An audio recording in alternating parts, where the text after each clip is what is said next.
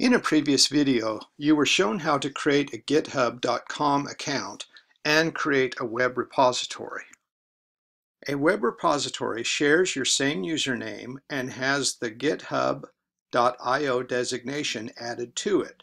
For example, username.github.io. This is where your website files reside for viewing on the internet. In this video, we will clone, make a copy, of this repository to your local computer and connect it to VS Code in order to easily work with our files and move them to our remote repository. To be prepared to make these connections, you will need to do two things in advance. First, in a web browser, navigate to your GitHub account and click on the link to your web repository. By so doing, the URL for your repository will be in the browser's address bar. You will need to copy it for use in a few minutes. Second, on your local computer, use the operating system to open a window to where you want your local folder to reside that will contain all of the website files. I recommend a cloud drive, such as Google Drive or Dropbox location, if available. If not, your Documents folder is probably where you want to be. You need to know the path to reach this location.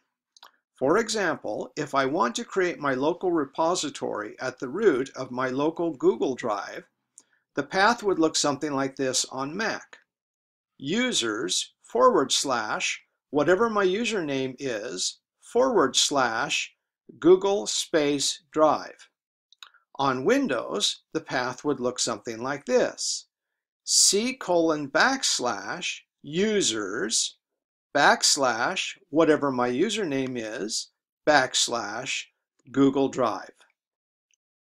With these two items at hand, you are ready to clone the GitHub repository to your local machine using VS Code. Do the following. 1. Open VS Code. 2. In the View menu, select Command Palette. 3. Type git colon space clone. As you type this, the IntelliSense options should assist you. Press Enter on your keyboard when done. 4. A blank input will appear asking for the URL of your remote GitHub repository. Switch back to the browser and copy the URL of your repository. Return to VS Code and paste it into the Command Palette input text box. Press Enter on your keyboard when done. 5. The palette input will switch asking for the root directory where you want the clone to be placed. Make sure this is where you want the new directory created, not inside of a folder with the same name. Input the path and press enter on your keyboard when done. A message should appear asking if you want to change to the cloned repository on your local machine. Answer yes. When done, VS Code will switch views, and in the top left-hand corner, you should see the local repository folder open as your new workspace, and the README file should appear in the file list.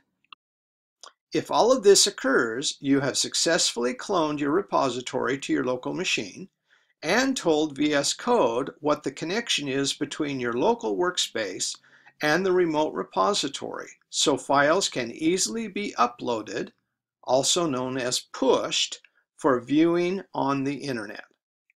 If this doesn't work as described, get help until it does work as described.